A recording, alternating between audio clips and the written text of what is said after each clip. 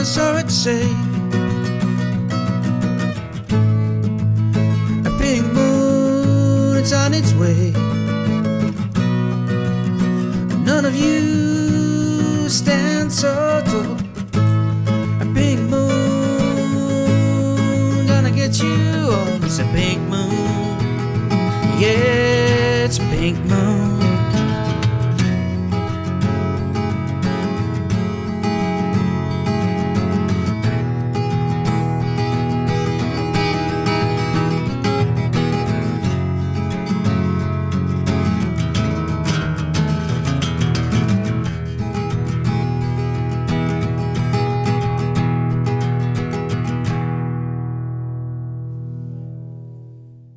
Okay, here we are today at the Guitar Show channel, your favorite YouTube channel, of course, and I'm here with my my friend and uh, longtime partner in crime, Bob. How how you doing, Bob? Hello. Um, do you like my uh, Do you like my Zoom background? I certainly do. Do you want to just tell us a little bit about that? Why that photo, Bob? Well, this is who we're going to be talking about today, isn't it? This is right. Yes, the Yes, legendary Nick Drake, and this is not a particularly uh, clear photograph; it's a bit grainy, but it's of him uh, behind one of the lowest ponds uh, on Hampstead Heath. Um, and this is a photo shoot done in the early part, no, sorry, the late part, I think, of '71. So it, this was his last photo shoot, wasn't it? I think it was one of the last photo shoots, and he wasn't in a very good state. Uh, he was pretty pretty maudlin frame of mind. Um, and the reason I chose this photograph is partly because I think it, it's uh, th- th- this is one of the same sequence taken. That there's a famous black-eyed dog photo, which is him in this same alleyway with a dog going past him. But the reason I've chosen this one is because I I go to this little corner a lot. This is one of my Hmm. standard walks I do on Hampstead Heath. You know what they say about you know it all the time. No, no, I'm not going dogging there. So anyway, swiftly moving on. So Uh, we're- anyway, today that- we're- that's it. so today we're going to be talking about the legendary um, Nick Drake, and it's kind of like it's it's kind of like we were. This is meant to happen because we've covered a lot of um, um, you know various musicians from this kind of time period, um, and we did uh, Davy Graham recently. So it's really great to do. Um, you know Nick Drake, who was um, really didn't really get famous until you know after his whole career happened, and um, and so we're gonna and, and Bob's really unique in this situation because Bob has actually seen him perform live, and I haven't met many people that have actually seen him perform. So it's going to be great to find that out. Um, and we're going to go and there's there is a few actually YouTube really good YouTube documentaries on um, Nick Drake. So I guess what we can do here on, on the guitar show is talk about the guitars as well. We can make, focus more on the guitars as well. But let's let's start off first, Bob, with um, um, let's start. If I tell you what, if we, if we start off, you know, how you first came across him, you know, and uh, Okay, well, the sa- listening. I came across him the same way as most people came across him back in the day. Uh, very few people would have come across him uh, by seeing him perform, and we'll go back to that. But uh, the reason is that in those days, the record companies had this really brilliant idea, which was they used to produce sampler LP records. And these samplers were basically one track culled off each of their roster of artists' releases. So I think the first company to do a sampler was probably Decca, and they did things like the World of Blues Power, and you'd know that because of all the Mhm. early Yep. Clapton, John Mayall, Peter Yeah. Green's Greenie. For many years, Yep. that was the only vinyl record Greenie was released on. Mhm. Until the days of CD, you had to buy the World of Blues Power volume. had a great cover, didn't it? What? Well, it, blue, kind of dark blue. No, no, no, it was some some uh, girl in in kind of photo silhouette, you know, freaking out, baby. Um, it was a pretty naff cover actually, but oh geez, it was a fantastic album. And also these things were sold cheap; they were loss leaders, right? So anyway, all these albums were being produced. The Decca did the first one, I think. CBS did one, did several. They did the Rock Machine, I Love You, the Rock Machine Turns You On, and then they did the famous one called Fill Your Head with Rock, which is a double album full of stuff. This is where you kids like me discovered bands, right? Island Records followed suit. Their first one was called You Can All Join In, and it had fantastic things like um, Spooky Tooth and Spencer Davis Group and stuff. Their second one, most important to this, was called Nice Enough to Eat. It was 14 shillings and 11 pence. That's 75 pence in modern British currency. So it was cheap. And it had Mott the Hoople, it had Free, it had Nick Drake, it had Fairport Convention. Uh, it was unbelievable, incredible album. And of course, on that, I'm going to play it in the wrong tuning.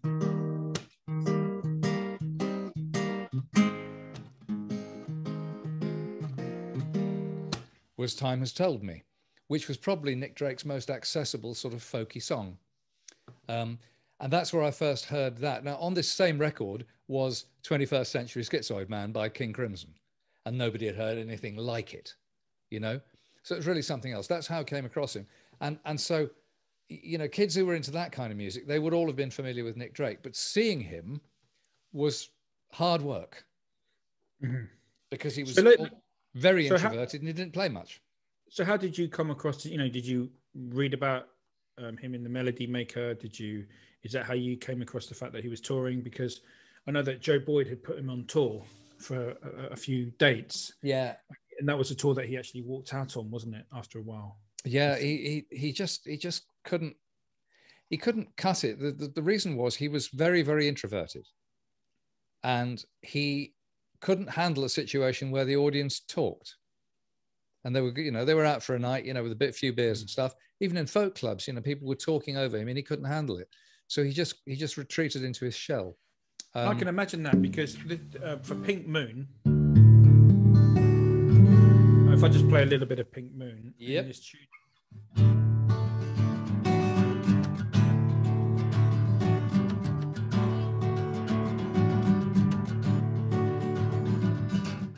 Um, this tuning here is um, basically C, G, C, F, C, E with a capo on the second fret. I know there's other ways you can do that, but you can imagine without you know having an electronic tuner like this I've got on the headstock. Can you imagine how hard that would be? To- well, I can. I mean, I can tell you from first-hand experience. You you you said in the intro that that I saw him, and I did, and I only know one other guy who's also called Bob who saw him too. Now, I've been trying to work out where I saw him because it was definitely on the South Bank in London. I thought it was the mm. festival hall, but looking back through the literature, I think I saw him in the Queen Elizabeth Hall. Right. Um, uh, I saw him um, there, I think, with John and Beverly Martyn, with whom he mm. was very, very close friends. Uh, and John Martyn, of course, wrote the tune Solid Air about him. Um, but I've looked back, and actually, I, I did go to see him twice in very short order because I also saw him at the London Students' Union, London University Students' Union, and that was a gig and a half because that was two of my all-time favorites. That was the early Genesis, right? Three 12-string guitars and no electronic tuners, and a Manky Mellotron, and then at, supported by Nick Drake. But all the way through, you're right. He played these bizarre tunings. Every song's in a different tuning. They didn't have electronic tuners, so you, it, back in the day, you know, lots of folk singers used to change from G to D to Dadgad and stuff like that, but they always used to sell jokes while they were tuning. Nick didn't have any banter. So he could take a minute or two to retune the guitar between songs. It's totally lost his audience. Yeah, I mean, I, have I've done, you know, I can relate to that because, um, you know, when you see great sort of folk artists in England, they always have the banter. You know, they always they, they're really great at tuning their guitar and, and talking. when when Ralph McTell supported me, ha ha ha ha ha, which he did once, um, yeah, I won't live that down in a hurry. Um, he was exactly that. He only played three or four songs, but he had all the chat because it's yeah. what you did as a folk singer. It's part of that was yeah. part of learning your um your craft. Yeah. And I think that he he was he's obviously because if we talk a little bit about his background, you know, he he grew up in this beautiful house. It, it wasn't a mansion, but it wasn't far off, was it? I mean, um, it's a beautiful house in the West Country, and uh, um, a typical so, sort of. It, it wasn't, yeah. but it could have been an old vicarage or an old rectory, one of those lovely houses. Yeah. You know, beautiful yeah. Middle England, Midlands of England, lovely weather, plenty of countryside, lovely garden, roses mm. all over the house and his sister, his sister was a sort of a, an, an, actress or an actor of note, and and you can imagine him just you know those those, those kind of houses they creak. You know, if you've ever been in one of those houses and you walk around, you can hear somebody down the the landing walking because the boards creak. You know, so oh, you yeah. can imagine him being up at late at night. Um, smoking a bit of uh, joint or whatever, and I don't know if he did was allowed to do it at home, but you can imagine him being just, you know, his parents are asleep and he's crawling around the house being very quiet you know yeah. and that was he was just a quiet sort of um, guy that was his whole thing was but that he was quiet I, I, I, I better say I'm, I'm sitting here with you. I'm, I'm sitting with various bits of Nick, Nick Drake memorabilia, which I'll Yeah. run through. But in particular, I've got a pile of books. There are five books written about Nick Drake that are Mhm. worth reading if you're interested. Um, Deeper Than the Darkest Sea. I'll put pictures of all of these up. Deeper Than the Darkest Sea. Um, Pink Moon by um, Gorm Henrik Rasmussen, which was actually the first book ever written about Pink Moon. It was written in Danish originally. Uh, the Pink Moon Files, which is a collection of all of the writings in the Pink Moon PYNK Moon fanzine that existed from the 90s through until the early 2000s. Um, Patrick Humphries' uh, biography, and finally, uh, Remembered for a While, which is a compilation of people's memoirs of him.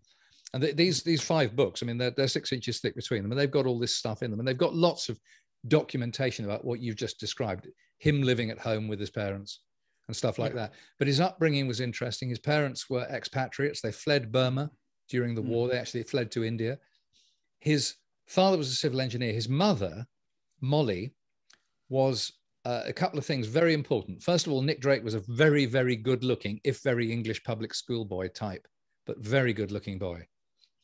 His mother, Molly, was an absolute beauty, an English rose, but also she composed and performed her own songs on the piano. Yeah. And that came to light quite late, long after everybody had discovered and loved Nick Drake. And of course, there's lots of her and this whole English and English rosiness and this whole post-war Mm. golden years. It- it's, it's interwoven into his the lyricality of his work. And she, and she was a great poet. She was a really good. She she you know she wrote poems. Yeah, Um, so that and he studied. Obviously, he studied. Um, um, he read English at Cambridge, right? Was it Oxford Uh, or Cambridge? he he he yeah he started he started at Wellington, and Yes. then he and then he went to Cambridge, but he only stayed Cambridge, a year. Only stayed a year. Yeah, but he, he was doing English, wasn't he? He was. He went up to read English, but ended ended up spending all his time playing, smoking dope, hanging out with Bob, Yeah. Robert Kirby, who wrote most of his string arrangements. Right. So another thing I want to say is uh, he's just talking about his guitar style, and this is you know as you know me and you know my style, uh, and what I really look for in players is a great groove, and and you know this is the thing about Nick Drake. He had an incredible groove Oh yeah, to his playing, and he could just keep. I'm not in tune, but he could just keep that thumb. You know.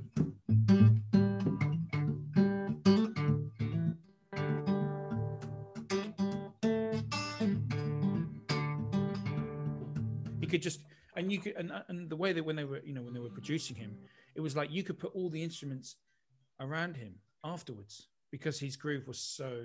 So again, if you read any of the mags, you read the books. Oh, by the way, there's one other piece of literature that anyone interested in Nick Drake has to find. It was written by a man called Ian MacDonald, and it was a depth piece for Q magazine. Mhm. Uh, so it'll take a little looking up. And for me, it is the definitive piece on Nick Drake. It's absolutely extraordinary. Now, Ian MacDonald was a great fan, but he was also a great music journalist, and it's very objective. It doesn't pull punches. It's fabulously written. Unfortunately, he died rather young too. Um, Oh, so right. he's not with us anymore either. But it's so that and the five books are the definitive pieces on Nick Drake. Once you've read them, you've you've basically read the compilation of everything everybody knows. Everything else is just Mhm. speculation.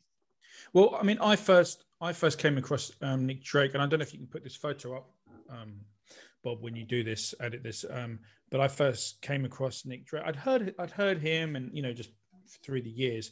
But the 1997 article in Mojo magazine, um, and that was really I'm just you know, wondering if, just I, reading if that article. I'm wondering if we're talking about the same thing, and I've got the magazine wrong because it would have been more Mojo than Q.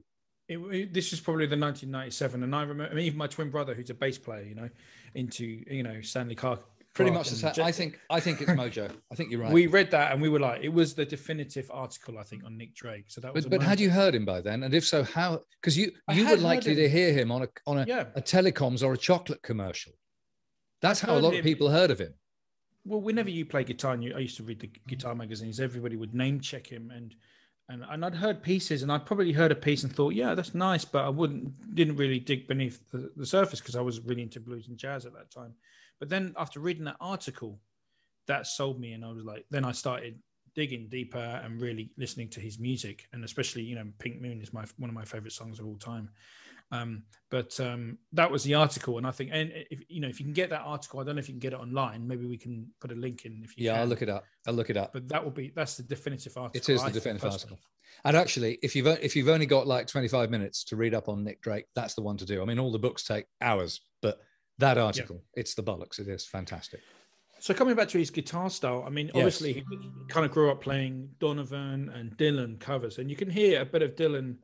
You know, his vocal delivery has Yes. got very sort of Dylan-esque sort of delivery, but but his guitar style is very interesting. Um, It's and I didn't, re- yeah, I didn't really. This is one thing I didn't research. Who you know, on on terms, I mean, it could be. Was he into like Big Bill Broonzy? Because you know, Big Bill Broonzy um, with um, let me let me. Uh, oh, I'm the can't tune up, but big. You know that Big Bill Broonzy had that sort of four to the floor, you know, crotchet thing going as well, and Yep. You know, who, I wonder who his influences were. You know, because that's one thing I didn't really sort of research before this video, but I, I would imagine that you know David Graham. I, I reckon he would have learned Angie. I bet you anything he would have been able to play Angie. Pretty much everybody did, didn't they? Yes. Yeah. And you know, so and and David Graham was a great sort of picker, and you know, um, so you know, and, and you, know, very- you would have had the guys. You would have had the guys in Pentangle. You would have had um, John Renbourn and uh, John Bert Jansch. but yes, yeah, Bert Jansch. I mean, they would have been influential. Yeah. I mean, basically, but you're right. All of these guys, they were in turn taking their direction from Mm. the American players. So you had the whole folk boom, the whole Seeger yeah, boom, and then the blues boom. Pete Seeger. Yeah. Yeah. know, the acoustic blues boom. So, so you know, th- that that would have been their their references. Yeah. Yeah, like Lead Belly and Big Bill Broonzy. Big Bill Broonzy had obviously been brought over Yeah. to England on tours, and and I- and I can, you know, really interesting. I'm just going to read you this because this is something I found out, and I don't know if you know this. You probably know this because you read the the books, but check this out. Um, where are we? Nick and his friends went down for a meal in the French quarter of Marrakesh in Morocco. As they sat down, they noticed the trademark floppy hat of celebrity pho- photographer Cecil Beaton. With him were Mick Jagger, Keith Richards, and Keith's girlfriend, Anita Pallenberg, and several other assorted stones and hangers on. Richard Charkin says that Nick and his friends were astonished. They'd come over a thousand miles from home to immerse themselves in Moroccan culture, only to find themselves in a restaurant with the apostles of the counterculture. Fueled by some cheap local wine, they told the rock star party that they should hear their friend. And so it was that the Rolling Stones sat and listened as an 18 year old Nick Drake serenaded them with a selection of Dylan and Donovan covers. I mean, what are the odds of that? You know, so that was before he even became. Well, the funny thing is, You know. in those days, if you were, you know, white British, probably, you know, moneyed or upper middle class or something, first of all, you know, going to Marrakesh was not, you know, your weekend destination like it is now. It was quite an exotic destination. You had to kind of know what you were doing. And if you did go to Marrakesh and you bumped into some other white people, the chances are they were people like you. And it So- well, the, yeah, there was know, some very ways- interesting. Yeah, It's it's it seems improbable, but actually the odds Mm. when you look at the circumstance, once you're in Marrakesh, the odds close down quite quite quickly. yeah, you had very a lot of famous photographers. Even you know, um, people like Kenneth Williams used to holiday holiday down there, and you know, all the kind of eccentrics would go there. You know? Yeah. Yeah. I yeah. know that raised an eyebrow there, but but the eccentrics, it was it was it was um, you know it was a place of uh, mystique and mysterious, and you know Jimi Hendrix went there as well. Fantastic place. I mean, I, you know, I didn't go there until till maybe 2000 or something like that. You know, way later when it was really commercialized. But I still think it's one of my favorite Yeah. places in the world, Marrakesh. But I mean, Oh, you it, yeah. you've been all over the shop in in Northern Africa. I lived there. Yeah, I lived in Marrakesh uh, for a couple of years on and off. But um, yeah, and, and also you know Robert Plant. His, Robert Plant is his favorite place. So it's interesting that he he went there and he had this kind of Brian Jones obviously uh, made an album, first world music album there for EMI. Yeah. But Yeah. but it, this is another thing where you know th- this th- he's a thinking man. He's he's an intellectual. Nick Drake is an intellectual. Oh, yeah, because um, apparently I was telling you t- earlier today before we did this, he even went for a job when his music career had failed. He even went for a job as a computer programmer and passed and got the job. okay. He, he later left it um, after th- they were sent in for training. But he actually, you know, passed the test to become a computer programmer. I think, so the I think the, you know, the, the other thing you have to understand, I've, got a, a tiny bit of empathy with the guy because he and I, he's he, you know, he was a little bit older than me, born a little early, but we both went to fairly well-known, significant English public schools, privileged education, boarding schools, all boys, all this stuff. The importance of academia, the importance of sport, the importance of this extracurricular intellectual stuff. You know, so I mean, I'm sure that Wellington would have been different to my school, which was Oundle, but uh, th- there would have been many similarities. Many similarities and the way the places operated, the kind of discipline they were you had a house. Yeah, you had a house, didn't you? You know, You, you had a house. I mean, bas- basically, my, my school was about 720 boys, divided into about a dozen boarding houses. So about 60 boys in a house. and I think he was a he was a head head of the house or whatever. I think he was- became the head of his house. Yeah. Yes, I think he Yeah. did. He was he was a pretty successful and popular pupil. He was Mhm. quite successful at sport. He was tall. He could run fast.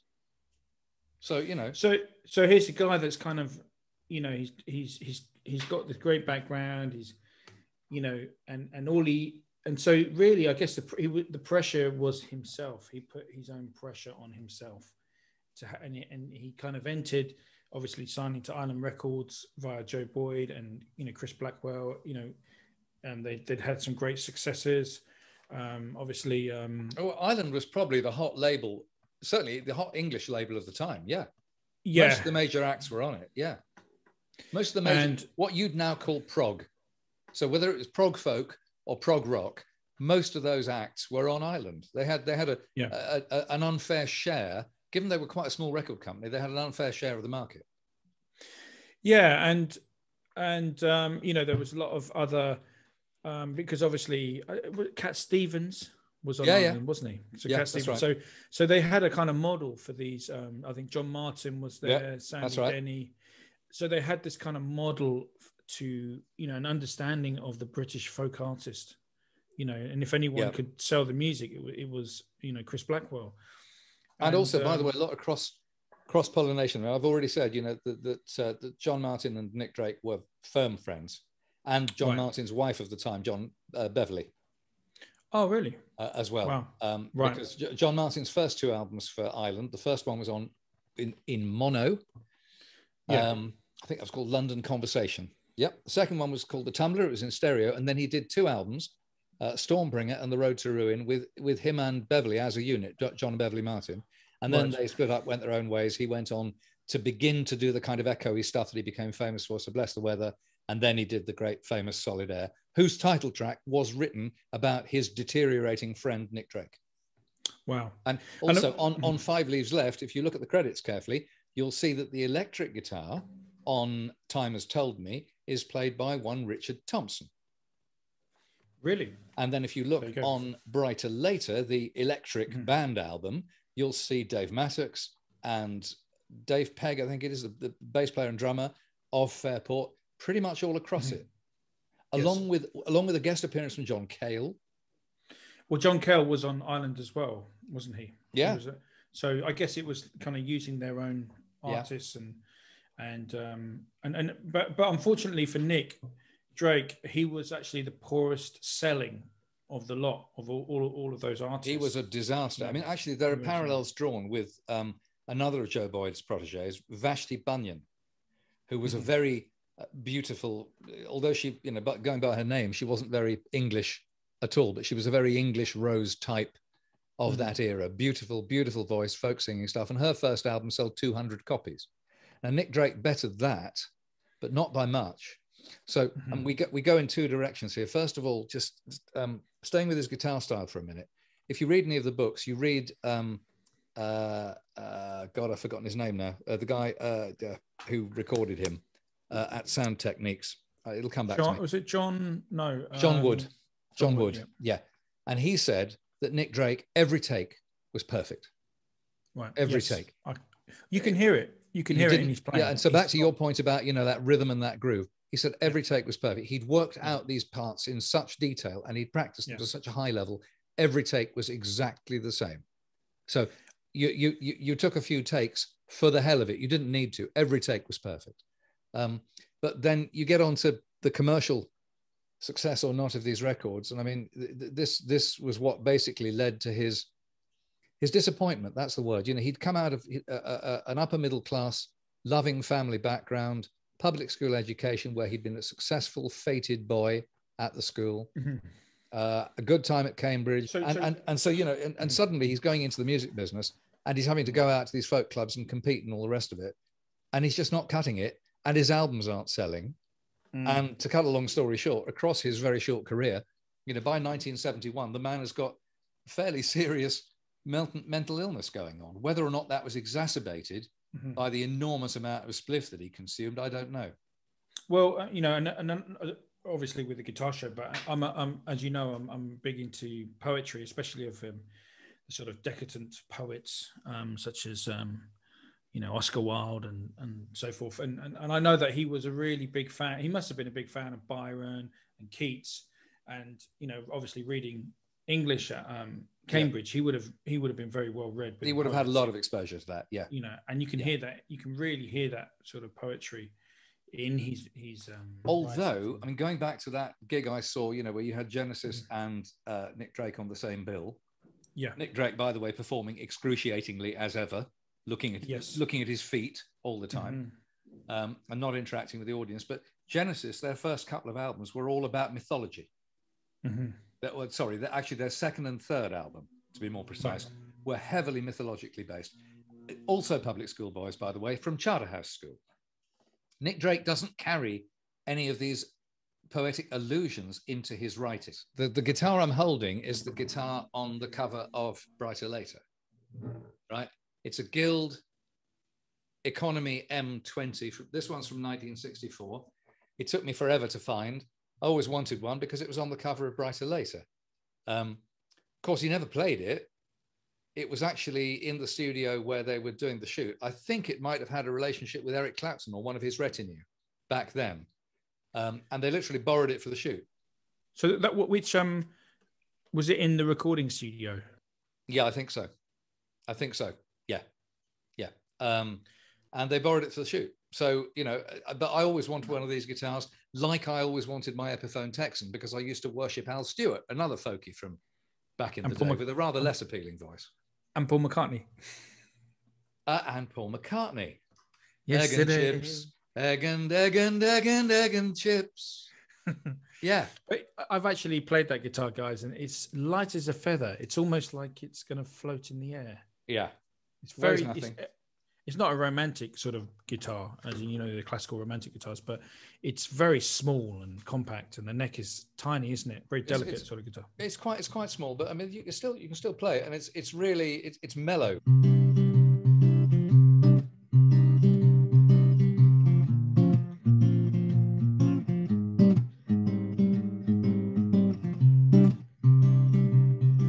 And my favorite chord of the whole song.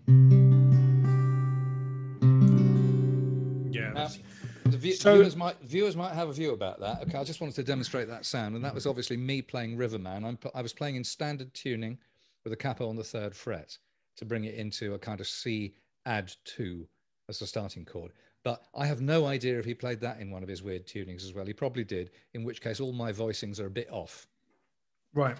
I mean, you know, you know, for me, I mean, what what I liked about his his his rhythm, he he was an even with when he was strumming, Yeah. you know, the all, all the syncopation is just.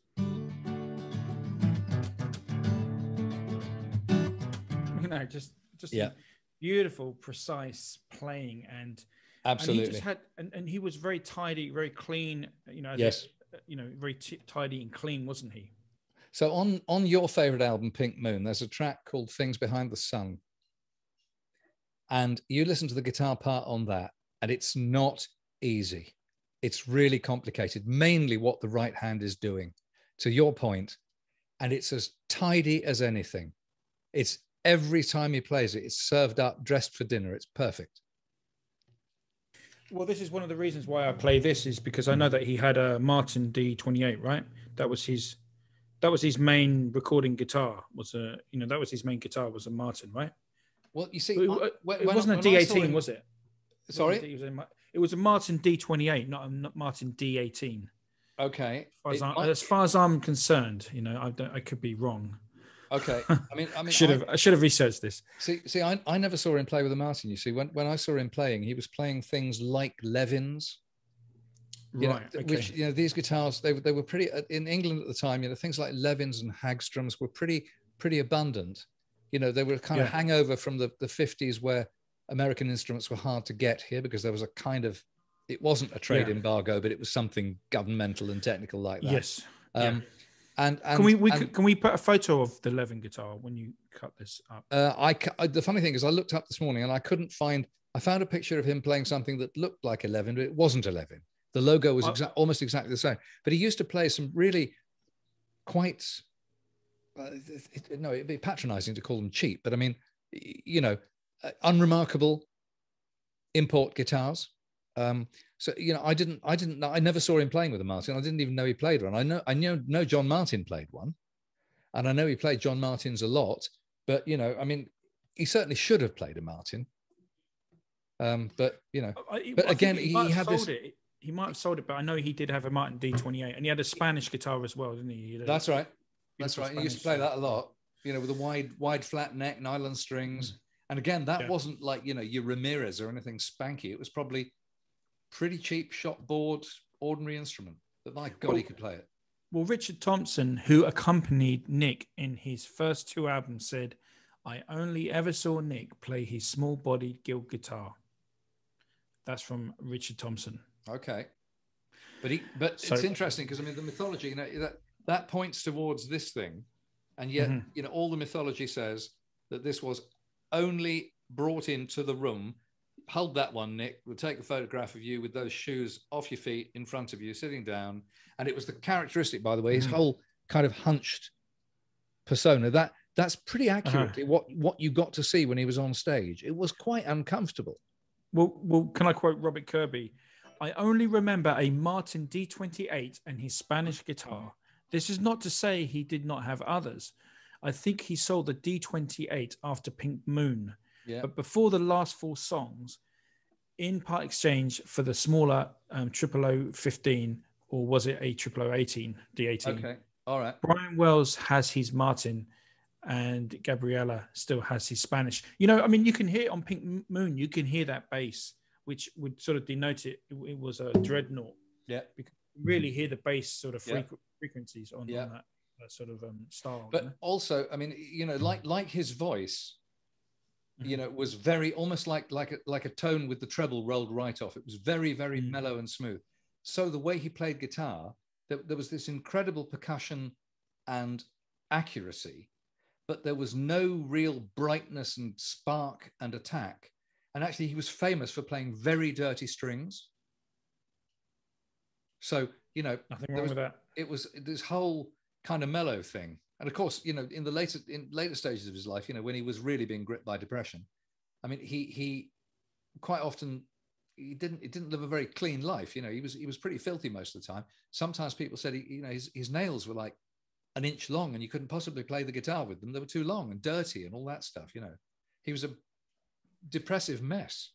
Yeah, and apparently he even I mean I don't know if this is true and maybe it's not my place to say this but apparently he had ECT and he'd already tried to take his life with um, Valium already you know before he did actually because you know they the you know the general consensus is that it was an accident in his final um, you know when he got up late at night and he um, went to make some cornflakes and um, and he took some pills that he was currently on that currently prescribed but they hadn't known that if you took too many you could actually die from it you know and he Right. didn't know that and he, he sort of took a, a stronger dose than normal and that's why he uh, died. But so obviously you know um, nowadays it, it's much more acceptable to deal with mental health whereas i think in his time it was more kind of stiff upper stiff upper lip.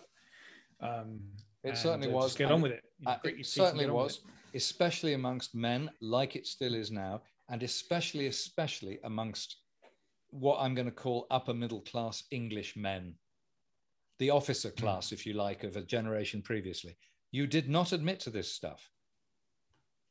You, you know, you you were you were admitting failure if you if you admitted to this stuff. That was the the the environment in which he he was clearly brought up, even Mhm. though he had a loving family. I mean, there's no, you know, these days it seems like everybody on this planet except me seems to have suffered abuse.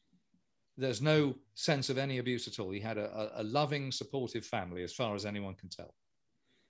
Um, and yet, Yeah, it, you know, it just happens. And, and But and- I've used the word yeah. before. I mean, the word for me, you know, I, I've been a fan of Nick Drake since I was 13 years old, and I'm now 350. And you know, and I've read all these books, and I've listened to all his records, and I listened to all these records. I remember where I was when he when it was announced he died. I was actually sitting at my first desk in my first job in a London ad agency, and it came through on the radio we had on in the office. I literally, I, st- I, I, I didn't start start bawling, but I got Right. very wet eyes. Um, It's kind of the JFK moment. yeah, and JFK then, and moment, then this morning, just preparing for this little session, I was just getting my finding where I'd put my books, and I got them out, and I was just thumbing through one or two of them to just recap on a few facts. And Yeah. on Radio Paradise, which is the most amazing internet radio station that I listen to all the Mm. time, I think it's bloody fantastic. Um, and what happens? Nick Drake Nick Dra- yeah. it's soundtrack. And I had I had a I had a moist Doesn't eye again. me. I thought, oh Yeah. god, you know, it, I don't get that way about much music. I I get, I get that feeling under my rib cage when I hear a really great electric guitar player really Mhm. really on fire. But I don't Yeah. get this from many people. But Nick Drake hits my spot every time. and I think you need to be a little bit of a, an intelligent listener because it's kind of like it's so um, it's it's like wine. It's like a fine wine. You know, you need to develop a taste for wine before you can appreciate a fine wine. And I think Nick Drake's music's like that. It- it- you don't just discover Nick Drake as soon as you get into music. It's it's um, you you'll discover it when you're ready. and Yeah, and I the think the, the you'll appreciate thing, you know. the fascinating Paul thing Weller is- said Paul Weller said that actually because he, uh, he he he discovered Nick Drake later okay. And he probably So- wasn't ready to, to So you know you're probably right. Um, but but y- you know it's it's it's really interesting that that he he sold he sold a few thousand albums in total while he was alive. Made three Hmm. albums. By the way, all three of those pretty- pretty- albums. it's pretty impressive by 26 it's it's, it's impressive Well, well, I three mean, these albums days, out Mm, No. uh, yeah, but I know back in those days. I mean, you know, honestly, bands used to tour, record, tour, record. Mm. It was it wasn't unusual for an album to produce more than one album a year. and to chris black and and to chris blackwell's um what's the word um Credit. credit he didn't just you know nowadays they just say right you failed on your first album see you later go out the door he, no, no, absolutely right. To- they, to they used to try and nourish their artists, and and and Yeah. uh, interestingly, I, I read um, on one thing online today that one of the reasons that Nick Drake's uh, his his records have always been in circulation is because Joe Boyd insisted that however few they were selling, there was always a current pressing available for the few people who wanted to come to it. But what I was going to say was that uh, Nick Drake's three albums, he only recorded three albums, and as you just alluded to, four songs subsequently, which are very dark. But the three albums are all in Rolling Stone's top 100 albums of all time. Now, I haven't looked through the list, so I'm not sure how many other artists have got three albums in that list. But if you think about it, the math says there can't be more than 30 if everybody's got three albums in the list. So it's very few. Yeah.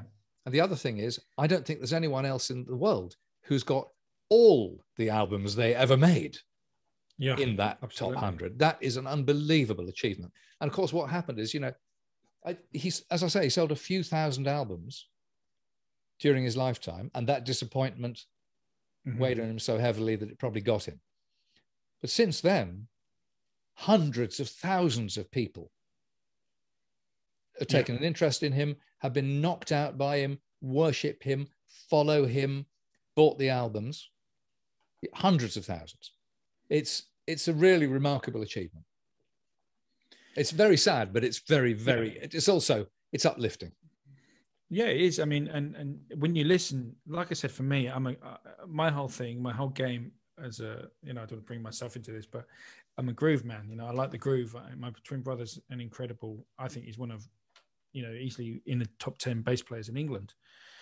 and the reason he's so good is because he's got, he's got a better groove than anybody, you know. And it it comes down to having a groove. And Nick Drake's that's the first thing I heard was like, that's an incredible groove. Yeah. Where's that come from? You don't Yeah. really hear that with folk players. I mean, you know, obviously Richard Thompson's killer, killer groove, you know, he's, got it, you know.